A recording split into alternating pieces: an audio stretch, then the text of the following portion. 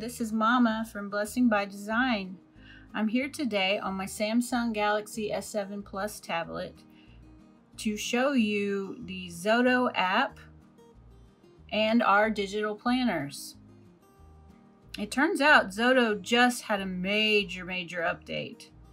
And so I want to walk through the changes in their interface. It looks very different now. And unfortunately, that means all of our videos that are on YouTube for our 2021 planners are with the previous version of Xodo. Um, but it's okay. It's going to work just fine. There are just some new locations for things. There's some new tools and it's pretty much all white now. It used to have a blue uh, boxes and now everything on the page is kind of white and there are some new locations for everything. There's really nothing in the bottom left and right hand corners. Um, but most everything's at the top. And we have some new drop down menus. Up here on the top left, you can change from just view mode if I tap, everything kind of disappears. If I tap again, I get these um, toolbars and I also get my Samsung bar down here. That's how I have it set up. Just remember that it really depends sometimes just on the settings.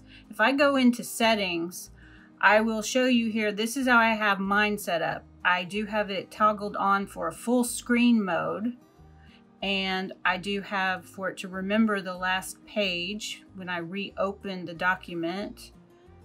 I have image smoothing on, maintaining zoom level, this enabled JavaScript. Um, I don't do vertical scroll. I like to swipe this way.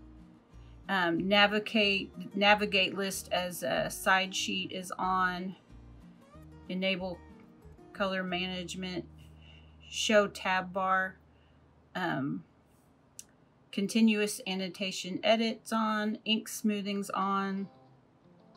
I don't have stylus as pen because if that's enabled, um, it just depends on how you like to work. If you prefer to use your hand and the stylus. Uh, and that's pretty much all the settings that I have. You can play with some of these uh, and see what you like. Toggle one on and back off again just to kind of go through them.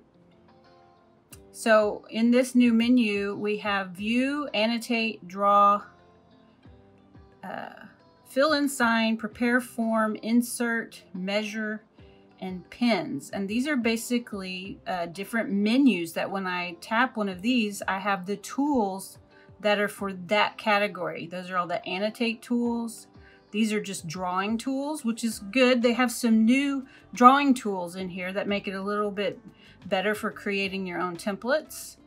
Uh, fill and sign is really for, not really for planning. Those are more for uh, documents that you share. So, and preparing forms, same thing. Those are other uh, features of Xodo that you probably wouldn't use in a uh, digital planner per se. Um, they have an insert uh, for placing images and, and stamping approvals. Uh, uh, measuring tools, which is totally new.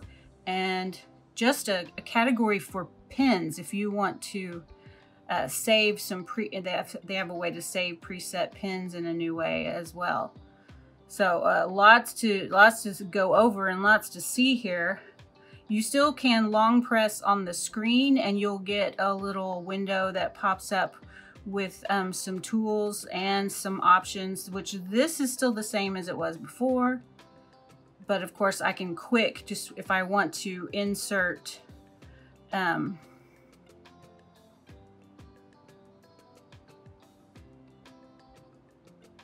an image, let's say, I can just quick insert a digital sticker This is from our freebie stickers that we sent out last month. So be sure to sign up for our newsletter and you'll be getting a monthly newsletter in your inbox. If you go over to blessingbydesign.com, that's where you can sign up and you'll get our freebies. So the, the, the mode you'll probably use the most is annotate. Um, and then we have all these different tools. We have a highlighter tool, and then we have some different text tools. Now, I want to tell you, these are the defaults that come with uh, Xodo. But they have this new feature here where you can hold and drag and change the order that they appear. You can reset it back to the defaults. So if some of the tools you use more often than others, uh, you can reorder these. And especially if you're on like a mobile, smaller uh, phone device, you might want your more frequently ones on the left-hand side because I think the, the, the smaller screen will only see the left-hand portion of these. So um,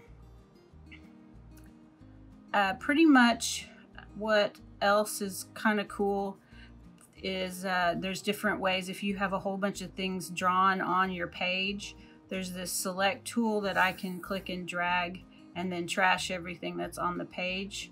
That's kind of like GoodNotes now. Um, as always, you can set up your pins for different colors that you prefer and different sizes that you want. And it will save them again and again for certain colors that you like to use. I guess if you open up the pins right here, you actually have uh, two freehand tools of pins and two highlighter and eraser. And then again, there's a way to um, just select everything quickly and to delete it.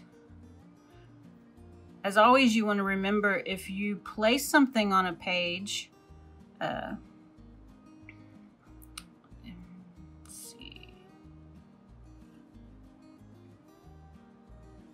If I place an image on a page like this, whoops, undo. Undo is the same, or redo, or undo. Those arrows are still up here at the top and you can still do those. Um, I can still select this and delete it or move it. But if I ever click on those three little dots and I flatten it, it is forever a part of my page. Forever. So only flatten something on your page if you never want to move it again. So you're probably asking, well, why would I never want to move it again? what you're going to want to do is probably um, create your own templates. So that would be a great place for if I'm, uh, let's see. I like that now they, they do have a line tool that will draw some straight lines for you. If I'm designing my own template, let's say, um, and I never want that line to move again, I will hit flatten. So now, notice when I go to select, I can't, I can't even get to that. But that's great for a template. So once I have a template designed and I like things where they are, I can flatten it. And then when I duplicate the page again and again, I will be able to write on it and know that then when I do the eraser, Let's see here. Let's make a big fat eraser.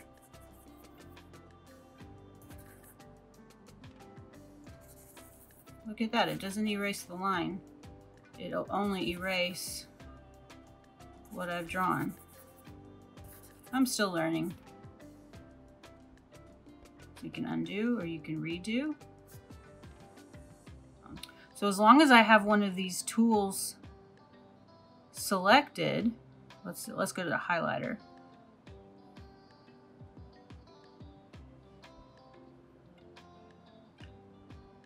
it, it thinks that I'm going to be highlighting stuff.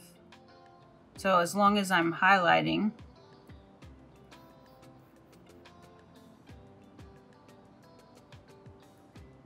I can select everything that's on that page and delete it.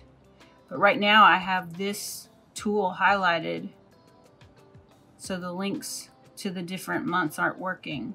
If I click off of that tool, now the links are working. So that might take some getting used to is when you're in a tool, you're using that tool, you, you have to click off the tool in order to then be able to swipe pages and to use the links that are available. Some of the tools up here at the top, you can search the document. Um, there's not a whole lot of things to search in your digital planner if you don't have anything typed in text. It's only going to search for, for text. This little blue arrow here that pops up briefly, it'll take you to the page you were previously on. You can jump back between pages.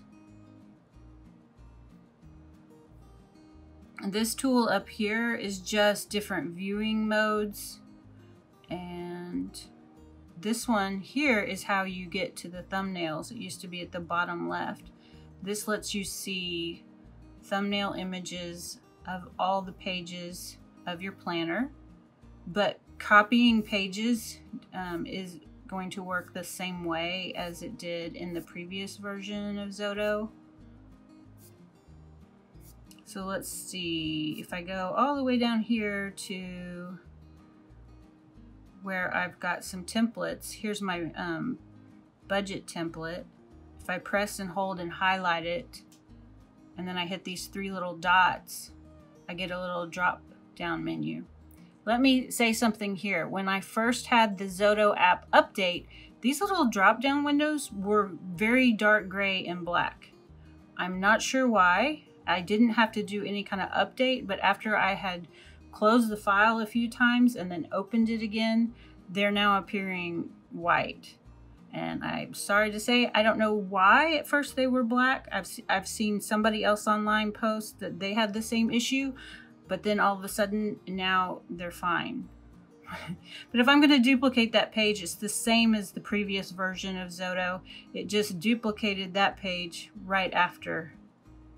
And I can still delete that page the same way with just the little trash can. So that was one little glitch we found when we first got updated is that these drop down menus right here uh, wanted to be blacked out. Now the way to close the document, because I don't have my settings for tabs where I can see the tab closure, um, you can either go into the tabs menu here and you will see it like that with a little X to close it, or you can just close the document. Now, one thing I want to point out, if you're syncing your planner, which I hope you are, you want to open the planner from your Dropbox, Google Drive, or OneDrive. Now, if you've been using the previous version of Xodo and then your app is updated, make sure that you go back to the original location, either in Dropbox, Google Drive, OneDrive, where you have it stored, to open it again because um, some of us have found if, if I just go into recent documents and try to open it when it was from the previous app before the update, it's, it gave me an error message. On my phone, it actually told me, no, go open this from your original backup location. But on the tablet, it just said, oh, this is a read-only file and just gave me an error. So there were a couple of glitches like that that we encountered at first that honestly kind of freaked us out a bit. So now I'm going here and I'm going to open up, oh, let's see, I'm going to open up a different version of our deluxe. We have eight versions of our deluxe planner. We have three life planners, Motivate Me, and Inspire Me, and deluxe planners. And the Inspire Me is vertical and these are all horizontal. You can swipe pages just like you could before. All the links function just like before. So thank you guys for watching. I hope you check out all of our videos of our different planners for 2021. They all work great in the new version of Xodo. It's just, it's gonna look a little bit different in our other videos. Thank you guys for watching. Please be sure to like this video and subscribe so that we can keep you up to date. We're going to do a series of more tutorials on Xodo. Thanks for watching. Bye-bye.